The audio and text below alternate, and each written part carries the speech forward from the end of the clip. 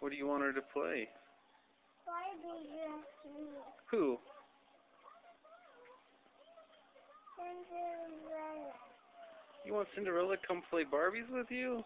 Yeah. Is it because you saw her on TV just now? Yeah. Was it neat? Do you want to be a princess? Look at Daddy.